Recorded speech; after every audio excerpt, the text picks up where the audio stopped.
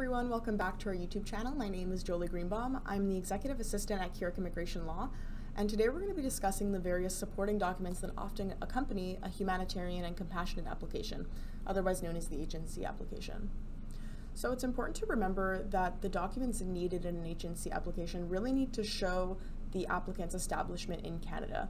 Now, when we're submitting a list of documents to our clients, we will often tailor this list of supporting documents based on their given situations. However, there are common supporting documents that we almost always include within an H&C application, and I'm just going to sort of go through those just to give you an idea if you're about to submit your own H&C application or if you would like to retain us for our services. So examples of potential supporting documents to include in an H&C application would be proof of family members living in Canada. So if you have other family members, brothers, sisters, aunts living in Canada, so maybe photos of their passports showing that they're also Canadian citizens.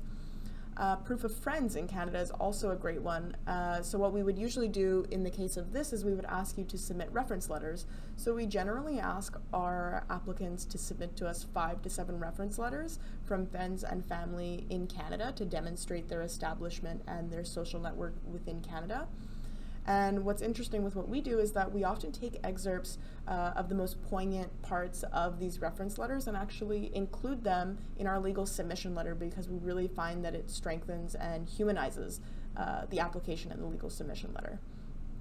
Another thing that we would include would be a lot of photos. We love to include photos in our applications showing, you know, from the date that you've been in Canada up until the date that we submit the application, showing that you're hanging out with friends or with family or you're volunteering or you're doing community work or you're taking courses, stuff like that, with photos showing that you're visiting different uh, Canadian cities, stuff like that. Of course, given the current pandemic situation, this uh, limits the areas where you're allowed to visit in Canada.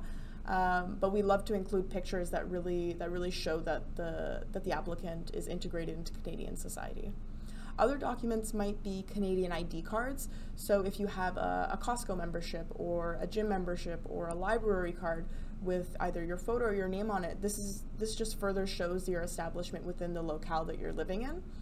Um, other things that we would definitely include, as I mentioned earlier, proof of uh, your volunteer work, your community work, and if you have children living with you in Canada, proof of their establishment in Canada. So showing um, where they go to school, maybe a letter from their principal, their report cards, maybe even personal statements from them and their friends showing them that they have their own network of friends in Canada then and that they would suffer hardship if they were forced to be removed from Canada. This would also be very important for us to show and would definitely uh, support the applicant's establishment in Canada.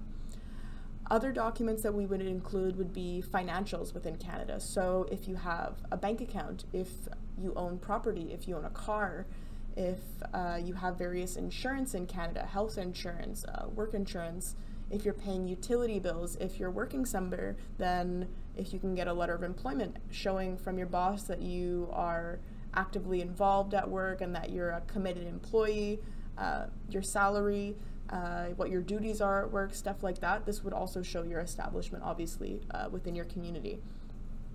And then if you're experiencing mental health issues due to being, you know, either out of status or potentially, you know, separated from family, which often comes along with being an immigrant in Canada, we often suggest to our clients to potentially see a mental health specialist and get a mental health assessment done because this would also ultimately strengthen the file and demonstrate that you as an applicant would suffer hardship if you were forced to leave Canada at this point in your life. And building on that, we also include documents that show the negative country conditions from your country of origin, the applicant's country of origin. And while this isn't the essence of the application, as I had explained, the essence of the application is really to show the applicant's establishment in Canada, um, we would still include it nonetheless to show the hardship you would suffer. So, so like I said, the essence of the application is not to show the applicant's risk. That would be a refugee application. However, we still like to mention this stuff in passing because it is still important, like I said with the mental health assessment, because those negative country conditions could be making your life more difficult here and could really impede on your life and your children's life if you were forced to be removed from Canada at this point in time.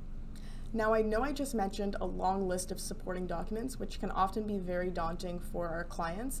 However, it's always important to remember that quality is always far more important than quantity. So even though there is a long list of uh, different types of supporting documents you can provide, this doesn't mean you need to provide absolutely everything and you know 50 pages of each. We don't need to have uh, bank statements from every single week over the last 10 years that you've been in Canada or 500 photos. This would just um, be too much for the officer to look at. It's really important that we show the most pertinent aspects of your establishment in Canada and that these documents be of quality and not just quantity.